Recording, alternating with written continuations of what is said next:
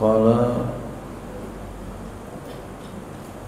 musannif rahimahullah taala wa adam nafa'a fi ulumi fi darain amin. Babul wudu'i bab wudu ya. Furuduhu sitatun fardu fardu ya fardu farduhu ya furuduhu farduhu ya bukan furuduhu. Farduhu sitatun. Kalau furud biasanya ada wawunya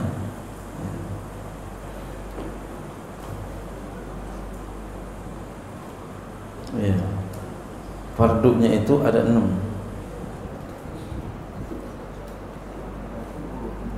Ya? Ya biasanya begitu. Kenapa pakai mufrad? Kan bertanya begitu gitu. Iya. Jadi Kenapa pakai mufrad? Ini timpalan ini harusnya jamak, sitatun gitu. Furudu biasanya begitu. Ini fardu. Ya. Ya. Jadi ini masdar. Ya, jadi dia masdar la yujamma'u wa la yusannu. Ya. Jadi boleh aja pakai masdar tapi memang jarang dipakai biasanya sama-sama dia biasanya begitu tapi ini yang ngomong Imam Nawawi ini kita harus yang cari jalannya hmm. ahaduha yang pertama fardu udu niyatun ni, niyatu rofi hadas niat mengangkat hadas. Ini waktunya adalah ketika kita membasuh muka. Ya, ketika kita membasuh muka. Hmm. fardunya sunatnya kemarin kita udah kaji tuh. Jadi uh, Fatul Mu'in. Ketika kita pengen biar dapat semuanya pengen cuci tangan nawa itu sunatal wudhu. Mau mulut sunnah itu sunatal wudhu. Mau hidung nawa itu sunatal wudhu. Lagi muka nah baru. Nawa itu rob al hadasil asgor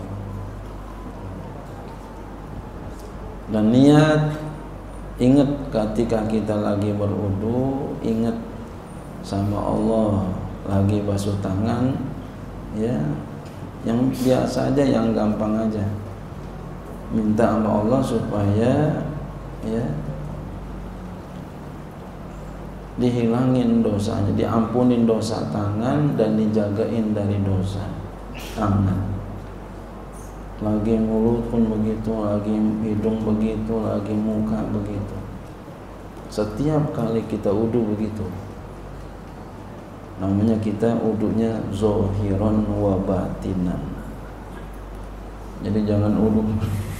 Begitu aja. Udah rapi aja uduknya. Gitu. biasain begitu. Insya Allah ntar lagi sholat kita ingat Allah. Jadi kalau lagi uduk kita ingat Allah lagi sholat insya Allah ingat Allah.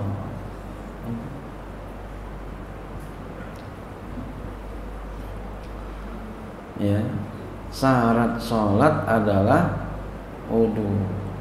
Maka begitu pula syaratnya supaya kita lagi sholat ingat Allah lagi wudhu ingat Allah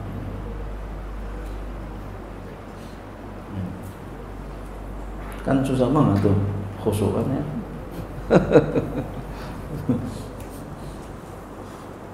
baru baca ititah apa baru baca ya doa ititah udah hilang aja deh.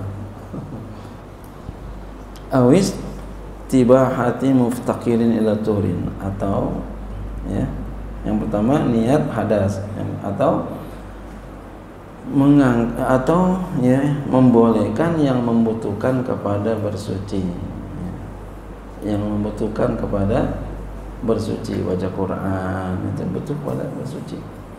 Au adai ya jadi au adai fardil udui atau niatnya ada fardil udu adai fardil udu.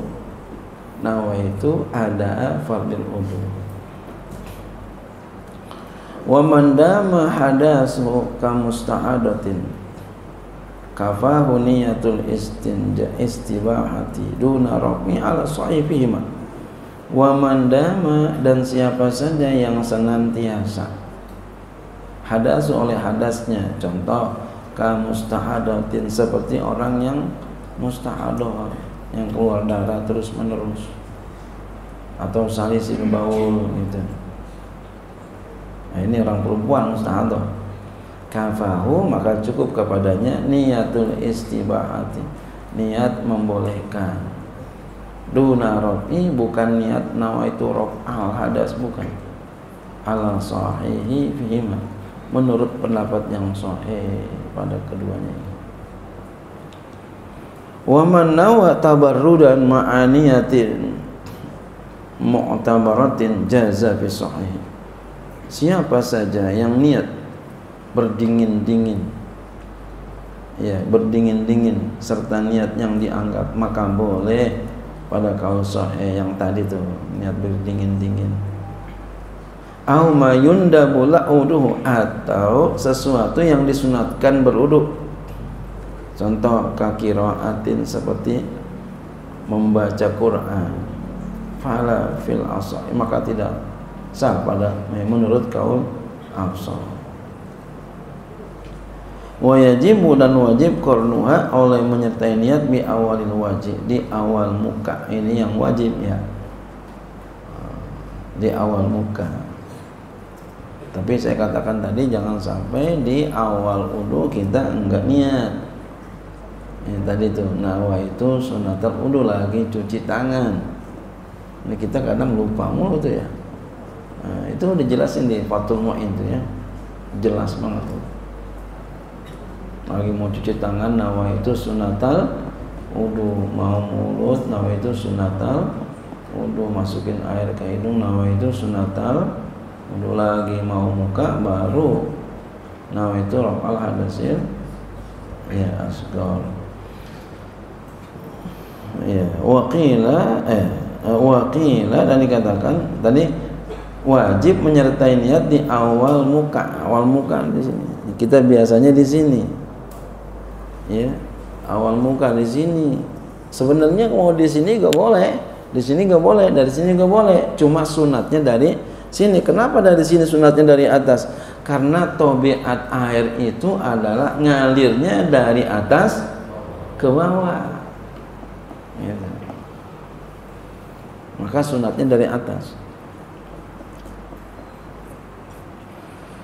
wa qila dan dikatakan ya fi bi sunnatin qablahu. Cukup dengan sunat yang sebelumnya. Sebelum ya sebelumnya. Cukup dengan sunat sebelumnya. Ada mengatakan kill itu. Ya tapi ini nggak dipakai nih ya. Umumnya kita di eh, awal muka itu ya. Sebelum muka dia mengatakan cukup. Enggak iya ini enggak enggak dipakai Mm-mm.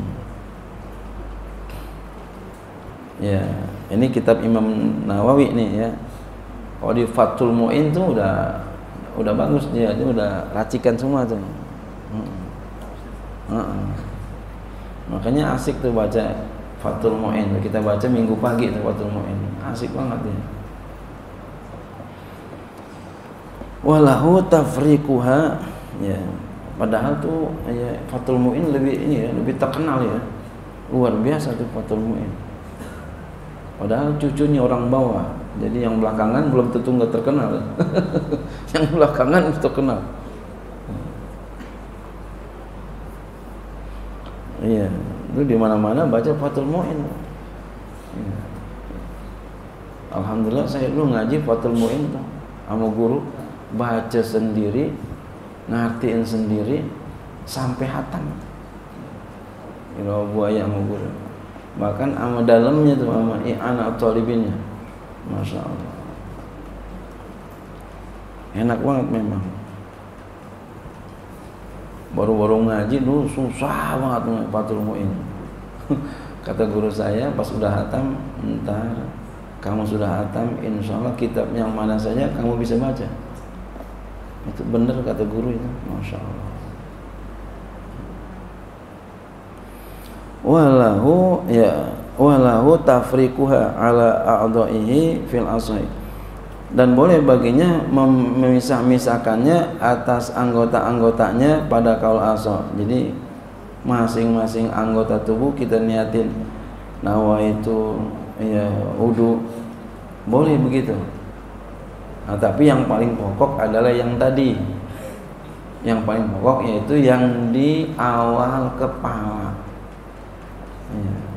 Di awal kepala itu niat wajib enggak boleh enggak ya sampai segini aja ya Allah a'lam